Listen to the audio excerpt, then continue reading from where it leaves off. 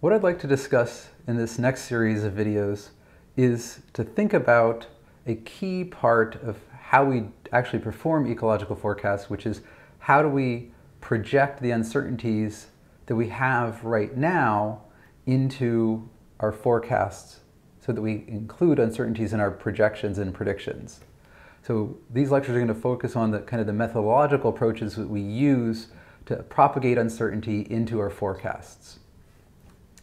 In looking at these approaches, we're going to focus on two key sets of trade-offs.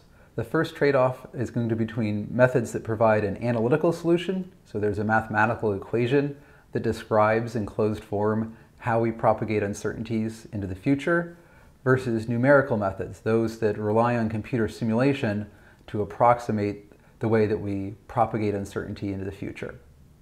At the same time, we're going to consider another axis that distinguishes between methods that give us the full probability distribution of our forecast versus methods that approximate that in terms of just a key set of statistical moments, such as the mean and standard deviation of the forecast.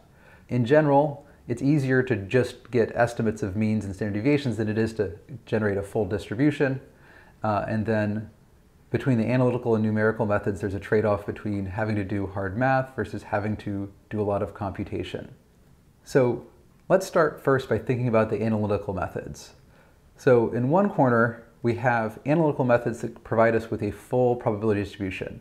This is what I will take as the gold standard for uh, doing this, and, and the way that we propagate this uncertainty is to make use of statistical methods for transforming variability.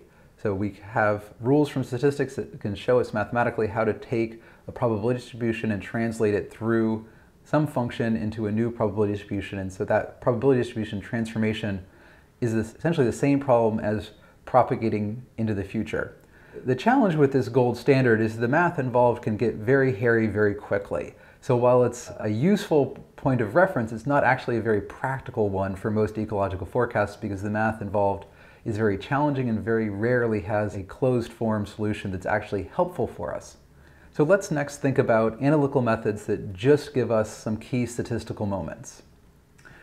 One important case of that are models that are linear, so models that just involve linear combinations of the variables we're interested in and their coefficients.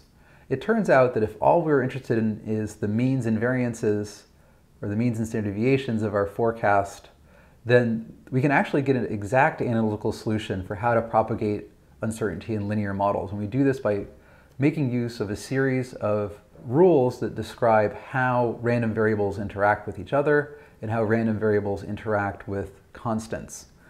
One general pattern that we see when we do this is that a linear model that has multiple terms, each term contributes specific components to the predictive uncertainty. So the first thing that you'll see is that there's a direct component contributed from each individual term where there's a variance in the thing that's an input. So for example, there's a variance in a parameter, a variance in a meteorological driver, a variance in an initial condition.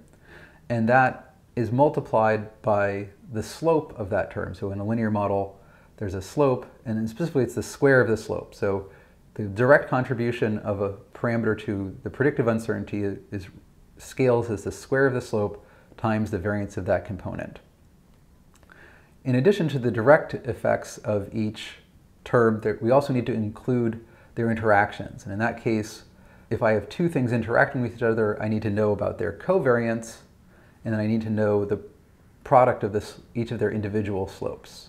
So I have the slope of the first factor times slope of the second factor times the covariance between them. And this is how we're capturing the interaction between variables when we propagate uncertainty. So to recap, when we have linear models, we have the capacity to get an exact solution to propagating uncertainty in terms of the means and variances. But what we're going to do moving forward is think about how we can translate that to uh, more complex models that may be nonlinear.